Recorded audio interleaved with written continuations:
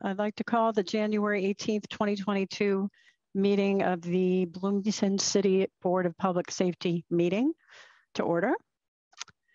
And our first order of business is election of officers for 2022.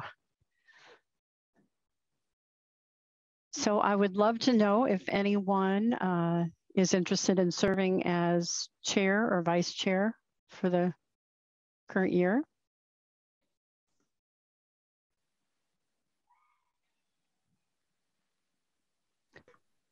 Let's not all speak at once. I, I would absolutely not like to be nominated for any position. I'm, I'm actually, uh, you know, I'm in school right now, and I'm, I'm actually um, um, trying to weigh whether or not I can be an effective uh, member in my capacity currently. So, okay. Thanks for your transparency, and we hope you do stay.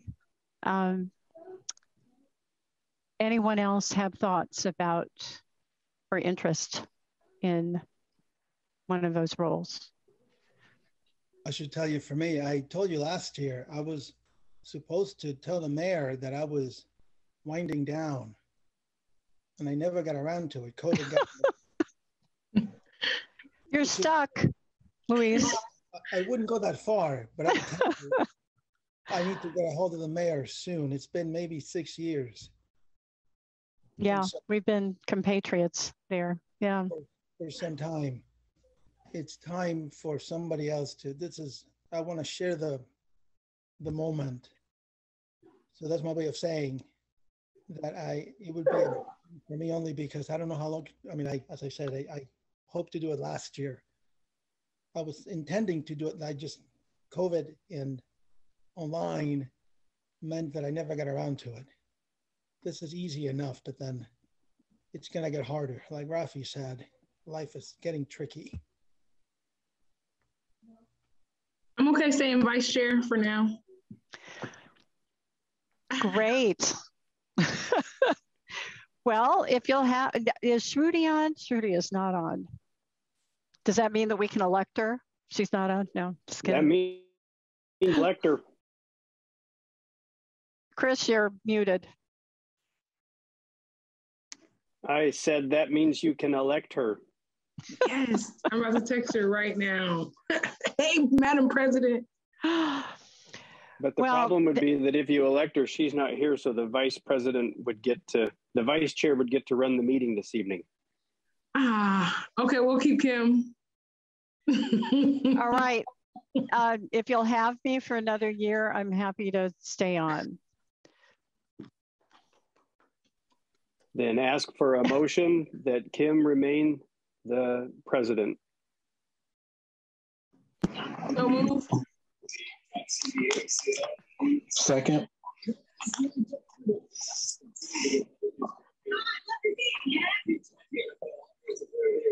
Do I say all in favor? Kim, yeah, Kim, you have a you have a motion and a second on the floor, okay. and if there isn't any discussion, you can have yep. the roll called. Okay. Is there any discussion? All right, sincere, Nicole. Oh, sorry. Just, go ahead. Uh, uh, sincere appreciation for your service, Madam Chair. Thank you. Um, Thank you. Thank you. That's a second. So, um, Nicole, I think we're ready to take the roll. All right. Kim? Yes. Luis? Yes. Sorry, Luis, I couldn't hear you. Luis? Yes. Oh, okay. okay. Uh, Rafi? Yes. Maquiba? Yes. All right, do, the motion carries. Do I have a motion uh, that McQueve uh, remain as vice chair of the Board of Public Safety? Motion to um, allow uh, Ms. McQueeva Reese to remain in her position as vice chair of the Bloomington uh, Board of Public Safety. I second. Any discussion?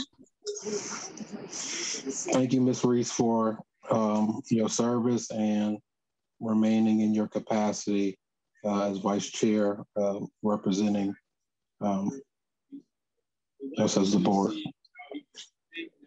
Second that. Here, here. All right, Nicole, would you please take a roll call vote? Uh, yes, Kim, Yes. Luis, Rafi, Yes. Maquiba, Yes. Motion carries. Thank you very much. We have officers. All right, do I have a motion to approve the minutes of the December 21st, 2021 regular session?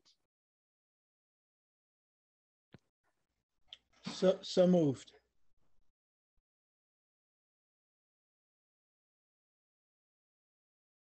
Do you have a second?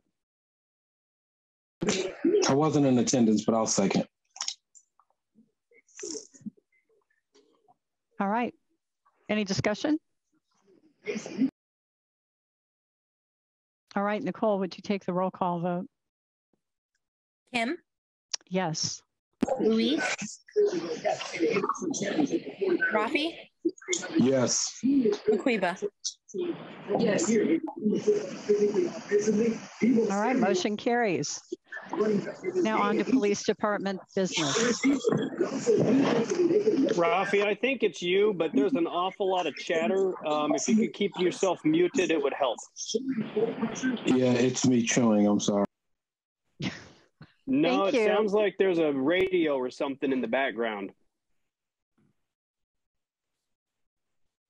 All good now. Okay, I'll go ahead and get started with uh, report on monthly monthly statistics and training. In your packet, you have um, the calls for service, um, uh, basically for the entire year since we completed December. You can see the difference um, in calls between 2021 and 2020. Uh, December was up by probably f- over uh, 400 calls for service from the previous uh, year.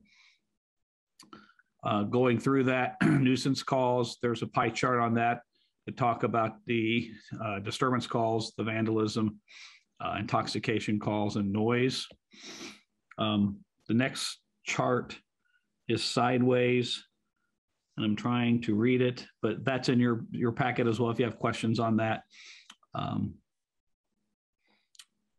so we uh, we continue to stay very busy, as you can tell from the the uh, uh, the data, uh, the arrest reports. December, we had 147 criminal arrests, um, whereas the previous year we had 96. Juvenile referrals were were way up in December with 21 versus four from the previous year. Um, and they were higher than the month of November as well. Uh, domestic violence calls were also up in December. Um, and we had a total of 40 of those calls for the month. The hate crime data in 2021, we had zero for the last quarter of the year. And we had three for the entire uh, the entire year of 2021. so if you look at crime crime trends, uh, we actually had quite a few uh, swastika related cases where it was uh, vandalism uh, that was uh, swastikas painted on buildings um, around the city. We also had an increase in counterfeit and forgery cases. Going to training, we had a total of 158 hours of training. You can see you can see the highlights um, diversity, equity, and inclusion training. Seven officers went to that. Um, pit maneuvers, which is uh, uh, pursuit ending training. We had seven officers in that. We had um, our regular CERT training for the month, um, and there was no CDU or dive team training in December. Community engagement, we only had two events uh, for seven and a half hours with two of our officers involved. Uh, police social work data, Total number of referrals were 24. Uh, total contacts were with 467 uh, individuals.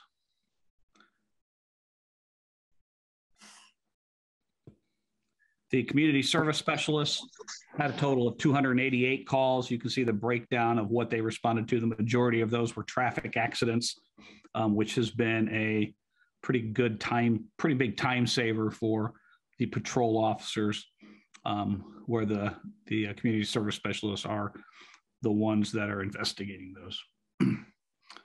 uh, that, any questions on monthly stats and training? if I can, uh, Chief, thank you for the report. Um, I noticed that under the, uh, I guess, uh, bias crimes, that the um, the damage that was done to the uh, the mosque. I know that was that in was that in uh, uh, that did take place in December, correct, or was that November? Correct. So that did take place in in December. Yes, uh, it was in the third quarter. I, I don't remember if it was December or or later in November. okay, well, was that reported as a? I know we it don't have. Not. It was it was not. It was a. It was reported as a vandalism. There was there was nothing that was hate related. It was just property was destroyed um, by the individual. Okay. So I I guess I'd be interested to know the I mean realizing that there was obviously nothing, you know, spray painted or damaged, but under the circumstances that um you know the mosque itself I guess was targeted and nothing else around the neighboring community was. Well, that so we have to follow the FBI guidelines on what the definition of a, of a hate crime is and it did not fit that. Um, granted, it was the only building that was damaged. Um, when we when we um, interviewed the the person responsible, he he wasn't even aware of where he was when he did it. So um, it, it, the, it doesn't fit the criteria of a hate crime, and therefore it wasn't reported as one as such. Thank you. All right. Thank you. Thank you for that, Chief. Um, I was I was concerned about that as well, and because of uh, because of our watered down hate crime um, in Indiana, my opinion, it just doesn't it doesn't allow it to fit the fit the case. So I'm just curious about the uh, support from Bloomington Police Department, if there is any, um, not wanting to add anything to your plate, but is there any way to, is there a relationship being steward with the, um, with the center moving forward, just so they feel safe? I guess is my uh, curiosity. Yeah, we, we have always had a relationship with them. Right. Um, um, I actually had a conversation with, with um, uh, someone from there today about something completely different, but they, um, um, the leadership have my cell phone number. They okay. uh, and and we do do tr- we do training with them periodically. Um, so we we do um, we do have a relationship with them. Excuse me. Um, I got and, some water spoke, here, but I don't know if you. I'm sorry. I got water. I don't. I'm choking on. um, but uh, and, and we we've done periodically where they've invited us to to uh, um, different meetings and things like that. So we continue to do that. Okay. We're, okay. we're very short staff, so it's difficult to do a lot of that right now. But um, I have extended that in, or that offer if they need us to come and talk to people that we that we will do that. So. Okay. Perfect. And then last question, last thought process. Um, I know there's a police task force. Curious if anyone from that, from the center, is considering participating, but we can definitely have a conversation later on, just kind of walk talk through that. Okay. Thank you, Chief. Uh, next is letters of appreciation and, accom- and accommodation. there are two, I believe, in the packet that you can see. Um, one is a handwritten note that um, I'm having a hard time reading with on my screen, uh, but it was. Do you want me to read it? Sure. I, I, this is it's really touching. Our daughter is schizophrenic. She's a senior at IU. The officer have helped her. The officers have helped her many times, treated her properly and kindly. Our grateful thanks to the officers who do a great who do great work for the community. Sincerely, I can't read read her mother's name. So that was one, and then we got another note from a Nicholas Cas- Casaval, I think so you say his last name, where his son was uh, um, involved in an accident, and um, Officer Escavella and Baker responded, and he was very appreciative as to how they uh, treated his son and interacted with him. He was young, uh, a very young driver, working on his his uh, uh getting his driver's license. So um, he was appreciative of how they they uh, interacted with him. So that was some pothole. Yeah, that that particular day we had actually a couple of wrecks in that stretch of the road um, where this one happened. Um, they weren't only the one was related to the pothole, but it was it was a rather large pothole. Next is general business. um, again, we continue to be short-staffed. Uh, in the personnel report, I will go over the officer numbers. It makes us very it makes it very hard for us to do any kind of community outreach. Um, so those numbers are way down. Um, and we're actually getting to the point where we are going to have to start um, not responding to um, some more minor calls where we refer people online to file reports. Um, so th- those continue um, and probably will for the foreseeable future because we just don't have the people to respond to calls. We are in contract negotiations with the FOP. Those are progressing. We started those earlier than normal. Um, with the hope of being able to uh, provide a um, substantial raise to base pay so that we can make um, BPD um, attractive to new recruits and so that we can also keep the officers that we have. We continue to lose um, our, our staff to other departments who um, pay more and, and um, have, have better benefits. When do you anticipate those talks to wrap up with the FOP? um, to be honest, I don't. I have no idea. Um, there's not a whole right now. It's it's all centering around pay. Um, so we we just continue to have back and forth discussions about um, what that should be. So. And I imagine you're tracking the impact of not responding, those calls that you're not responding to so you can track the impact of being short staffed. Yes. Yeah.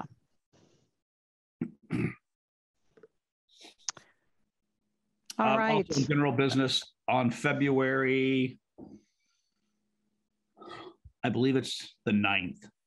I'll, I'll get you the date. Um, is when the the uh, annual public safety address that the fire department and the police department um, and the community and family community and family resources department have in conjunction with the mayor. Um, I'm assuming that will be virtual this year, um, as it was last year, but I will make sure that the board knows when the date when that date is. Thank you. Purchases, any anticipated? Yes, large... Oh, sorry. I just I just want to say that I'm really excited and to hear and when I read it, the diversity, equity, and inclusion training that the officers went to. Thank you, um, thank you for letting us know that. Of course, y'all let us know everything, but that I think that that's really good. So thank you for that. Uh, purchases. There's one that's coming up.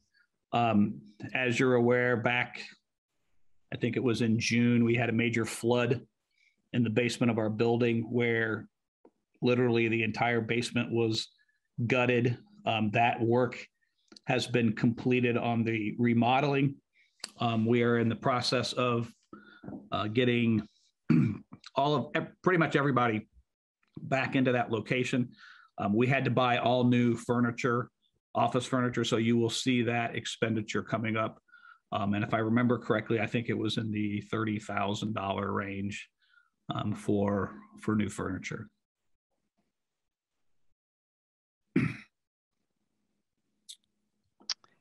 All right. We're moving on to personnel issues, promotion of Officer First Class James Ridge. Actually, let me go over some data first for uh, with the personnel issues. So we currently, okay. so we're authorized 105 officers. We currently have 88. Um, we have one out on extended sick leave uh, pending a medical retirement. We have one out on extended leave with an anticipated return of March of 2022. Um, we have one on extended light duty um, we're not sure of a return date yet on that person as they go through um, uh, treatment for their injury. We have two at the academy, which started, I think it was January 3rd. So they're at the very beginning of their academy training. We have three in the field training officer program. Um, we have two that are leaving for Westfield Police Department in early February. We have one that is leaving for Fishers in mid February and we have one that is leaving for Nashville, Tennessee in April. Our current hiring process, we have three applicants um, that were approved by the local pension board um, on 1-7, and they've been um, submitted to PERF for approval. And I think we heard today, I think, that they got approved.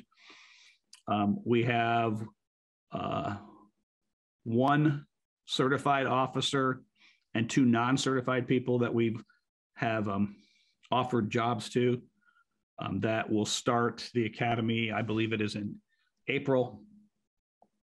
Um, unfortunately, right now, um, anybody we hire that is not certified, we will not be able to get them into the academy until um, August 29th. So that will hamper some of our hiring of non-certified people. And why is that? They are full. Are you asking why? Why is the academy won't take? people? Yeah, they're, the academy. Full. Their classes are full until that that next the August class.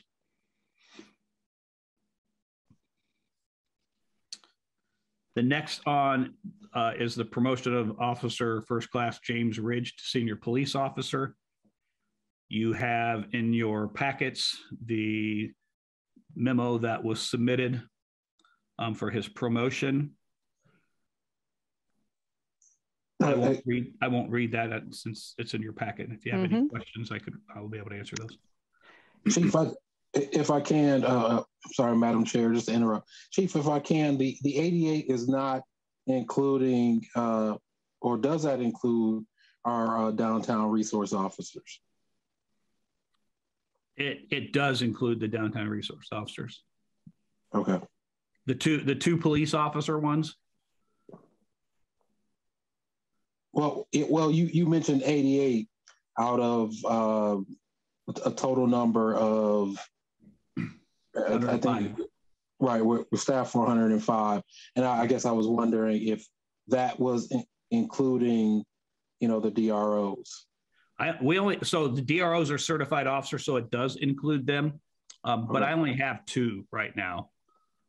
So even even that unit has is uh, severely understaffed. Okay, thank you. All right, can I get a motion to promote Officer First Class James Ridge to Senior Police Officer effective January 1st, 2022?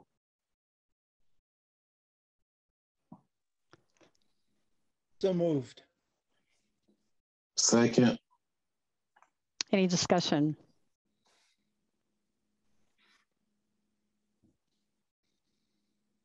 Nicole, will you please call the roll?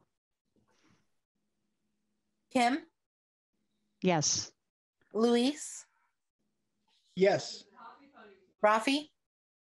Yes. Maquiba? Yes. that motion carries. Thank you.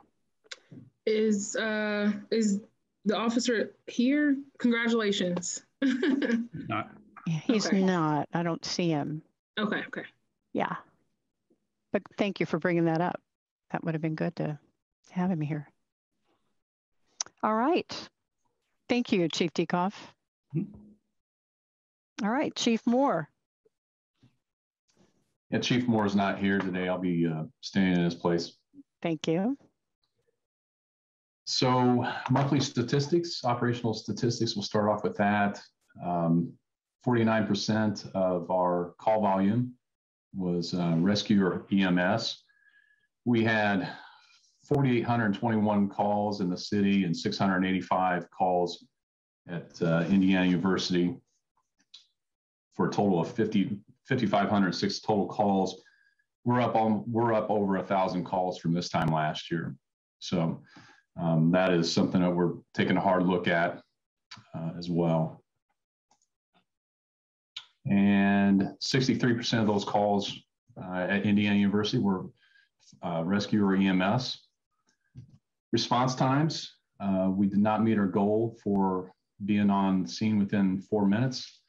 Uh, we are meeting our goals uh, within the eight minute at 96%. Um, our goal is 90% to be on time uh, or within four minutes, and we're at 63%. Part of that we think is, is due to our headquarters displacement of our operational crews and uh, the temporary headquarters that we're in at, at this point, along with road construction on some of the main thoroughfares. Prevention and public engagement statistics.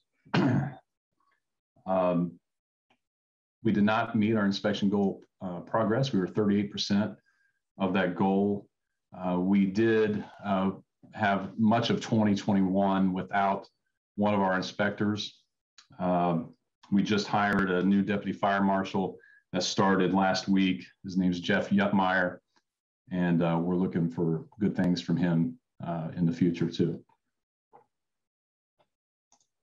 Uh, training education, I just wanted to uh, clarify. Um, it looks uh, when you look at the month of December, we were at 2,160 hours.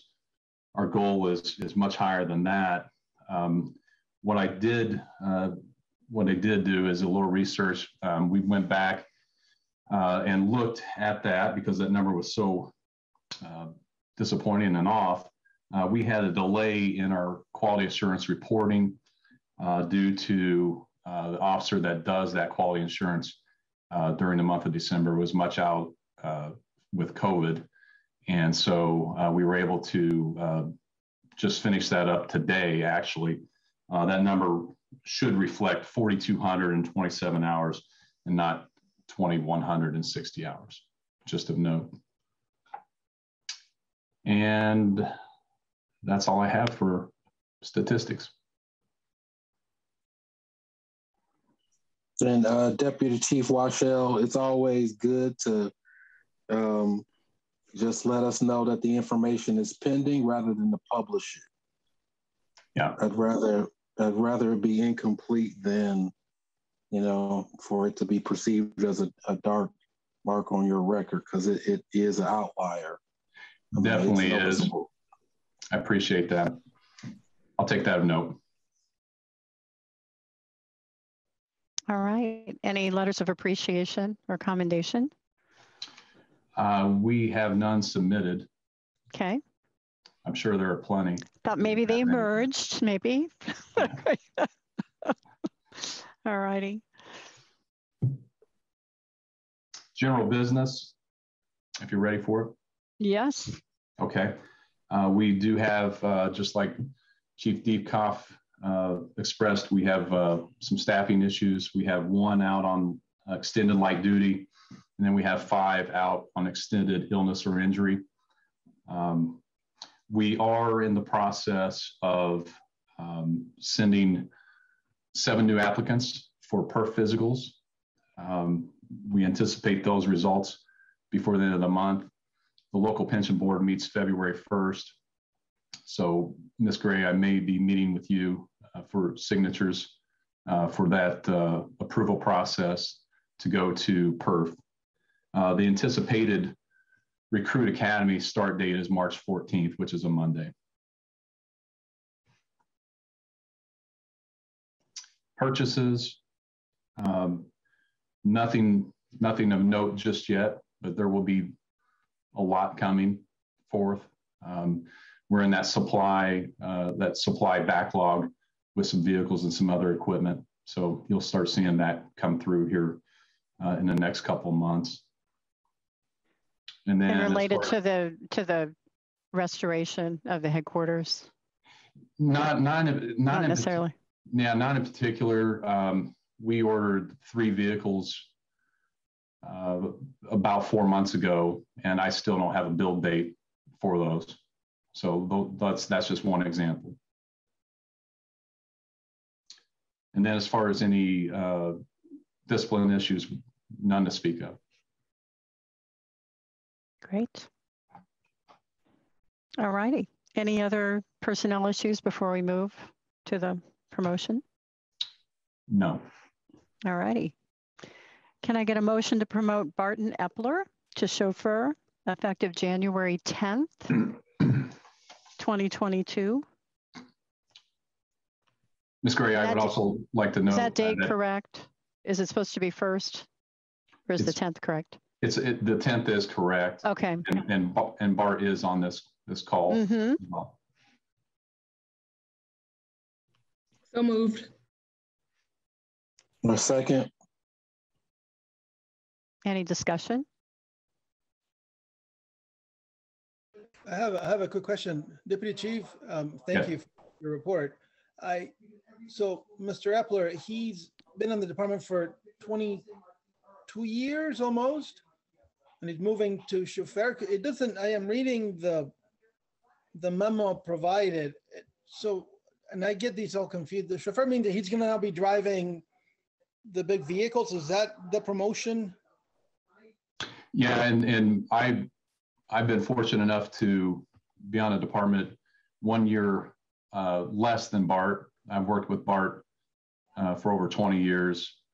He's an he's an excellent firefighter. He's an excellent driver. He's he's driven for over 20 years for us, but this is a, a different promotion for him. So he'll be exclusively driving uh, the the apparatus now.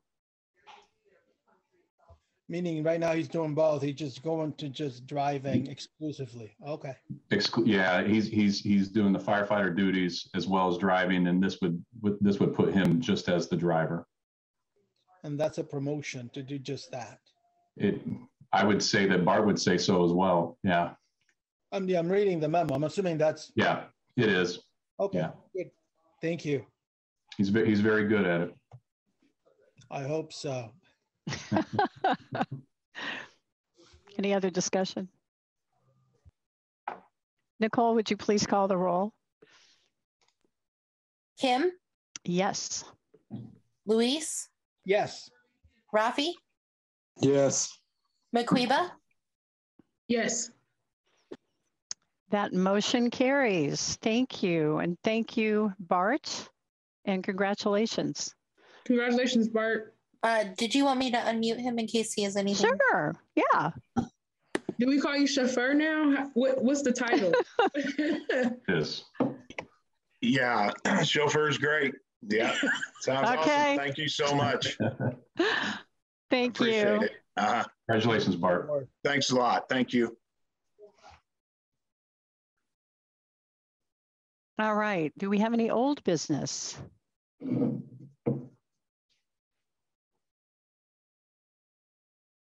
All right, time for the CERT ARV deployment report. In the month of December, we had no uh, deployments.